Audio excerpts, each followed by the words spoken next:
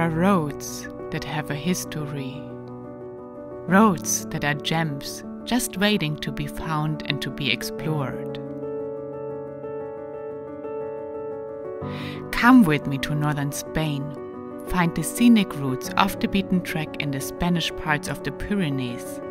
Ride part of the Spanish Trans Euro Trail with me and travel on old, illegal smuggler roads to the micronation Andorra.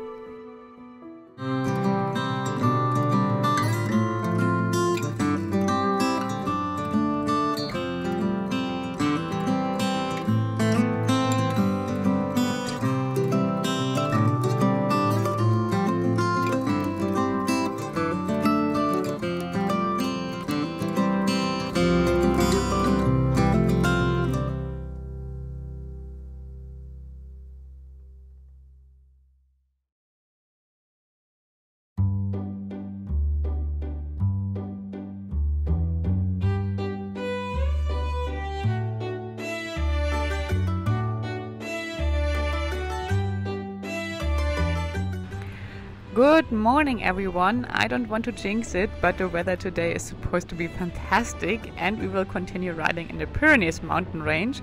But today we cross back into Spain and plan to do some small off road excursions, partly on the TET, the Trans Euro Trail.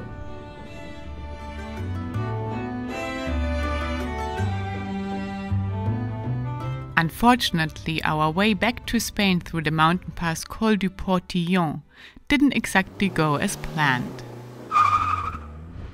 Oh no, this really feels like the trip of closed roads. Guess this mountain pass here will not bring us to Spain today.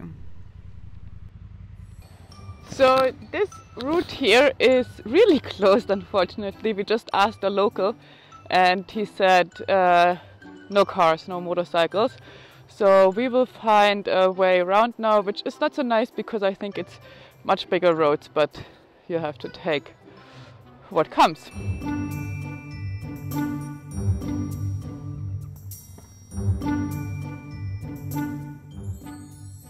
Instead of the mountain pass Col du Portillon, we had to take a pretty long detour. But we were rewarded with the stunning views on the village Saint-Béat. According to a legend, Saint-Béat is named after a local saint who is said to have killed a dragon.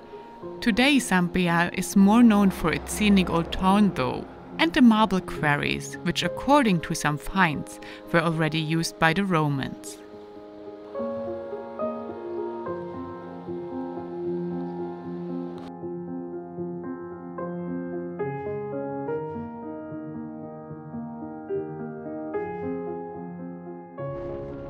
Hello, Spain! Yes, it has been a pretty long detour, but now we are entering the Spanish part of the Pyrenees again. And as you can see on the sign, as well the so called Val d'Aran, the Valley of Aran. From the village Viella, we made our way to the real start of our first off road excursion for this day, to the skiing town Baqueira. Are approaching our first little gravel road here now. Um, we're in the town Baqueira, uh, which is a Spanish skiing area. And from here, we're gonna ride up the mountain and do a little loop. And I'm very curious how it will be. I just found it on the map, so no clue what will await us. Baqueira Beret is the second biggest winter sport area in the Pyrenees and the biggest in Spain. The skiing area extends from 1,500 to 2,610 meters altitude, and we were just about to cover a big part of this distance with our motorcycles and starting our ride up the mountains.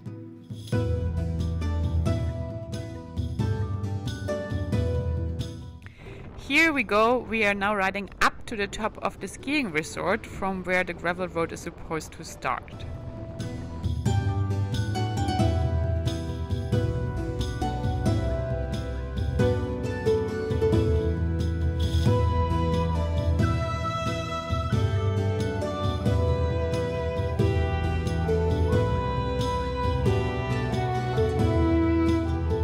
Several hairpins take you up to a mountain plateau and to the skiing base of Pla de Beret to an altitude of about 1,900 meters. If you continue the road along green meadows with horses freely roaming around, you end up at the gravel road that will take you on a stunning loop through the mountains.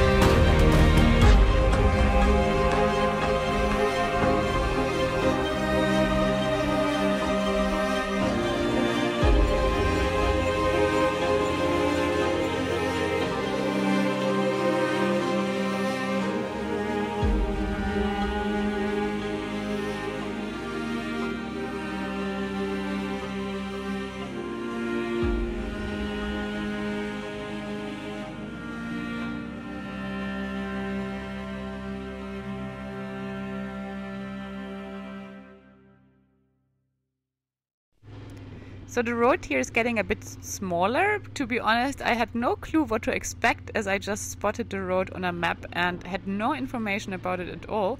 But so far it's super scenic and the only people we actually meet is hikers. So it's quite nice. We had entered Marimanha Nature Reserve, lying east of the Val d'Aran Valley, which is characterized by its mountainous alpine landscape.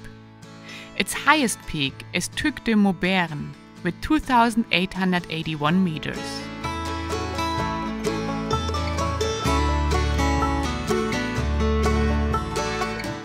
On our way, we came by several signs that looked as if driving those roads was prohibited. But we asked some locals who translated the Spanish regulations that were put up with these signs.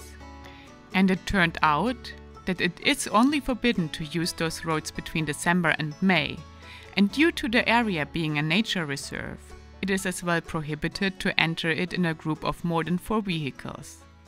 So we were fine and were ready to enjoy our ride through the forest. The views are getting more and more beautiful here, and here's another vehicle for once, so maybe we stop to looks like a good place to enjoy the view and have a little rest.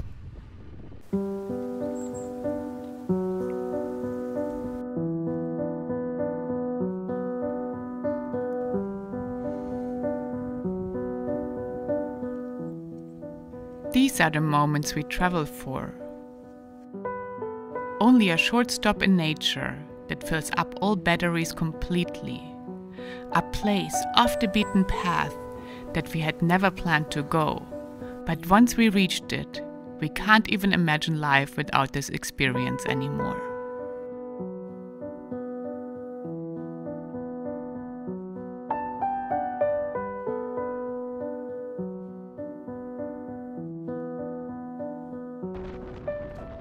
So it feels like this part here is a bit more busy now than the part before our stop and the road is much better. You can drive faster and you meet more people, but still super scenic with the road winding along this river here.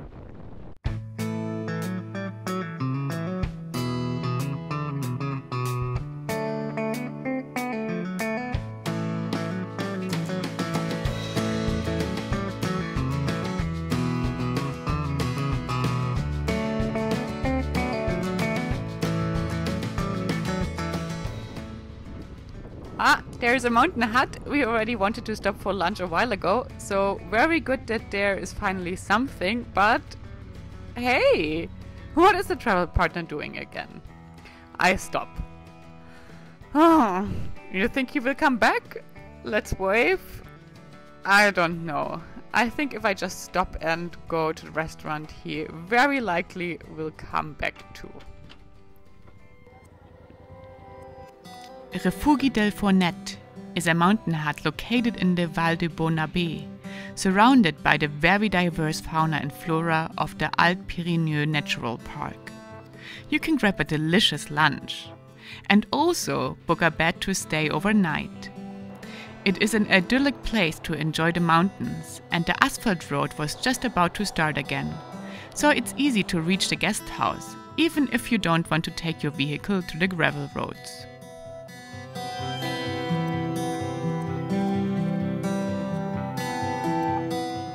The road here is still very scenic, even though it's tarmac again, and we are soon reaching the end of this loop here that we did, and we will head over to one of the most famous off road stretches between Spain and the country Andorra next. We are in the town La Llavorsi now and um, going on the old smuggler routes now that connect Spain and the little country Andorra. So we're doing a part of the TET today, the Trans Euro Trail, and this section of the TET starts in the town Alins, where we are heading to now.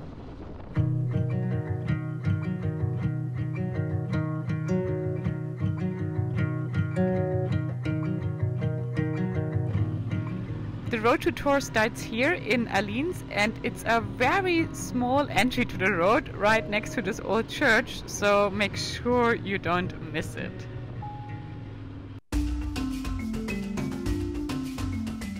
The Trans-Euro Trail, or short the TET, covers a road network of 51,000 kilometers of dirt roads and small tracks through some of Europe's most remote, diverse, and challenging landscapes. Thanks to a team of enthusiastic volunteers and the so called linesman who scouted roads in 30 countries, the route of the Trans-Euro Trail is downloadable for free on their website. If you follow the route of the TET, like we do in this video, or like we did on our ride of the Finnish part of the TET in my series Expedition North, don't forget to donate your first tank of fuel to them so they can keep this project alive and maintained. I have done this route before when we traveled to West Africa, and I can tell you it's really, really nice. This first part here starts very nice, scenic, and easy on a still paved road until you reach the small village of Tor. And yes, maybe I took the term taking it easy a bit too literal when having a nap before even reaching Tor. I feel like last time I was here, the road was not paved as much or as long as this time, but looks like the gravel really starts here now, which before I think I started a bit more early.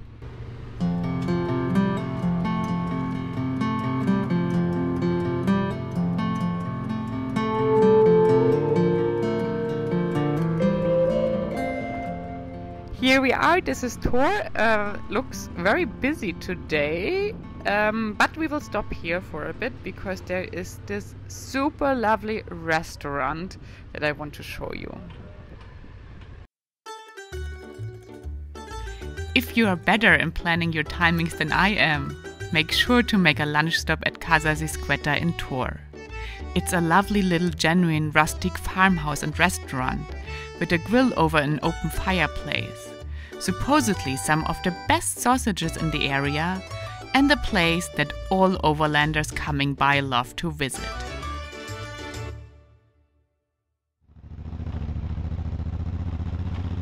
And then we started our ride from Tor on an old smuggler route to the country Andorra. And I felt exactly the same like on our visit in 2019.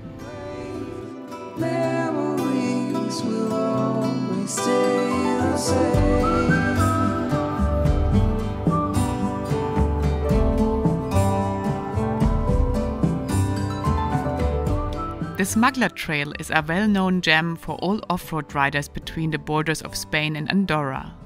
The historic route is an unpaved track used to access Andorra, known as the Tobacco Road or Smuggler Road. Its primary use was for smuggling tobacco from the duty free Principality of Andorra back into Spain through the border hamlet of Tor in the 1980s. Because I have done this road before, I know what is coming now. It's a little water crossing that is actually not difficult and nor very spectacular if you look at it closely. But if you see pictures or videos of the smuggler trail, that's where people pretend to have done a crazy water crossing. So I will show you this now. Behind me, it's very windy, but uh, behind me you can see the famous water crossing here in Tor. And I'm gonna show you the pictures we did last time because they were quite spectacular. Today I think the water is not as high, so didn't look that good and actually it's not that big at all. Reality check. These are the pictures we took at exactly this water crossing in 2019. And this is how the water crossing looks in reality.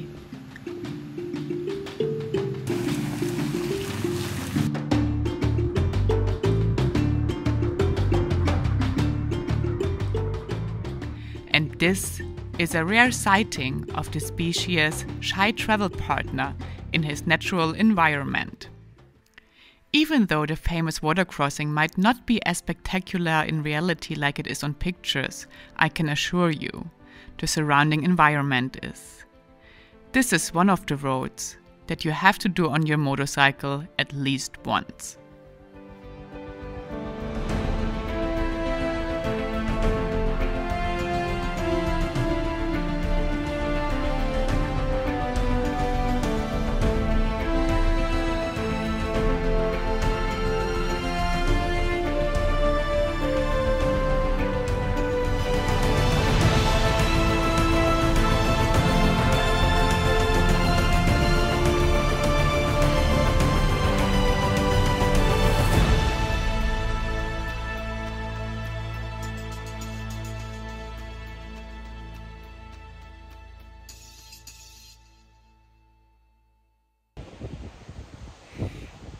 Let's go to Andorra.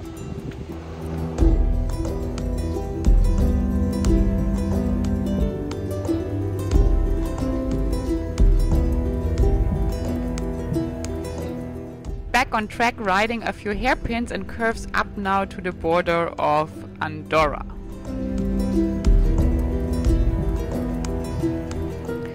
Part of the road here is actually a bit worse and more technical than last time we did it, but maybe it's just under construction. You probably don't see it, but these dumps here are quite deep. You don't want to end up there with your wheels, so careful.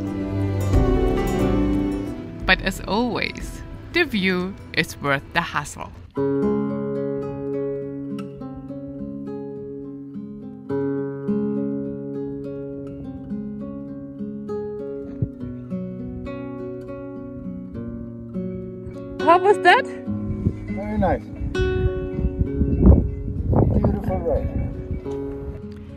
Now we go up to the border of Andorra. This part is supposed to be the most difficult one, but I think it's just fine. Very doable.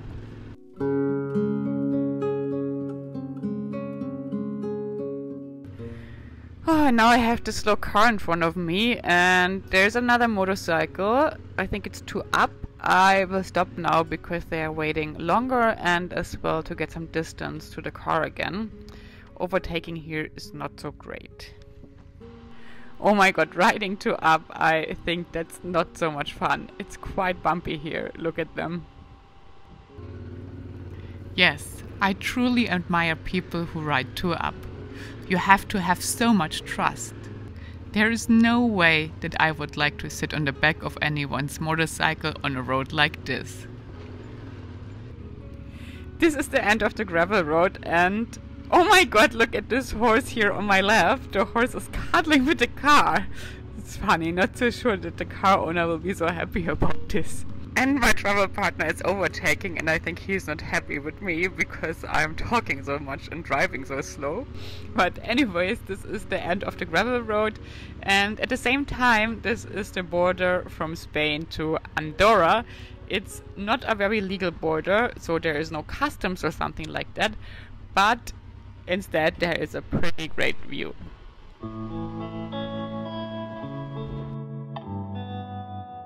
The smuggler route ends at Port de Cabus Pass at an elevation of 2,302 meters. The road from here to the Andorran side is paved.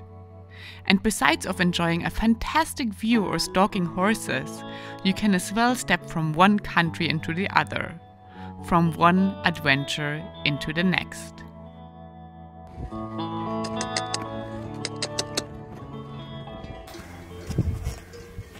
Andorra. Andorra. Thank you for joining this perfect day of riding and crossing the border from Spain to Andorra on the Trans-Euro Trail and on an illegal smuggler route with us. If you have not subscribed to my channel yet, hit the bell button and leave a comment and a thumbs up if you like this episode. The next ride will take us on a scenic route through Andorra and back to France. Tune in next Thursday to explore more of the microstate and continue the journey with me.